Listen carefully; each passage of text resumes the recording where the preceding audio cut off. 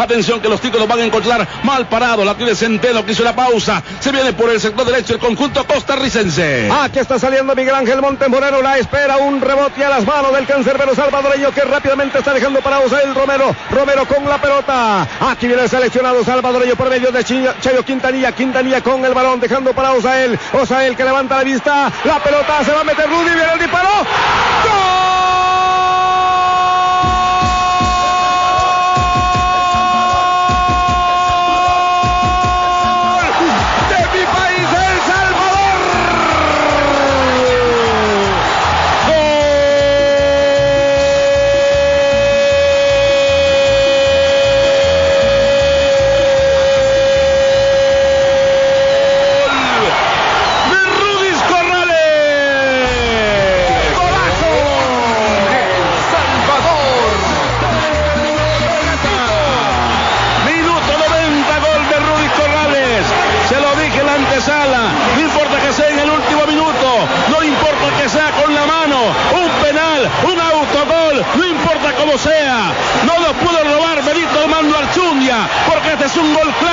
Es un gol salvadoreño, un gol que lo necesitábamos. Comente, licenciado y doctor. Yo creo, Carlos, que se cumple aquello que habíamos hablado con tanto técnico que ha desfilado por nuestro fútbol. Cuando un equipo, cuando una selección merece el resultado, juega contra el rival, juega contra la afición, juega contra el árbitro Benito Archundia. Y no pudiste llevarte estos tres puntos y nos dejas con una mala pasada porque Pito no va a poder jugar contra México. Pero qué jugada, ¿de quién Carlos? De alguien que a instante fue criticado, pero que ahora recibió la confianza de Carlos de los Cobos. Qué buena definición, Rudis, que también has estado en el ojo del huracán. Dos discutidos jugadores de la selección tienen ahora cantando el alirón. Celebrando, viene Cheyo, la pelota que se va. Sacala del estadio, Cheyo. Estamos en tren de reposición.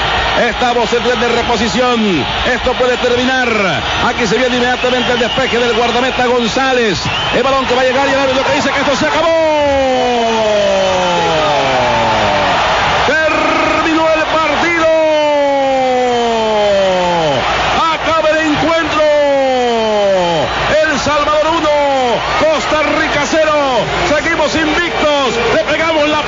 consecutiva a los ticos.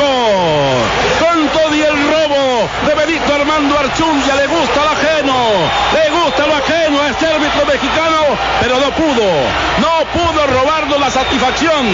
No pudo robarnos la alegría. Hemos ganado por las cabales. Hemos ganado como Dios manda. Con gol de Rudy Corrales. Uno de los más criticados. Al final justifica los cambios. El técnico, el señor. El señor a Carlos de los Cobos. Llega está en línea. Adelante, compañero. ¿Cuál es tu señal? Cadena Monumental, Carlos. Aquí está un ambiente que la verdad es tremendo. No puede contenerse la alegría, la satisfacción de esta selección que nos ha dado este, esta noche hermosa esta noche indescriptible. El primero que salió, saltó, brincó del banquillo fue el jugador con el número 6, que dejó pellejo y todo en la cancha.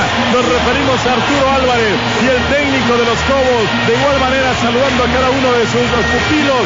La verdad que hay rostros de alegría, hay rostros que incluso denotan las lágrimas porque saben que El Salvador merecía ganar esta noche Carlos. Nos robaron un gol, un gol auténtico porque la pelota cruzó, llegó y luego, como injusticias de las cosas, el árbitro también que se hacen de la vista paz en otras acciones, pero llega en el momento más importante, Ruiz Alberto Corrales.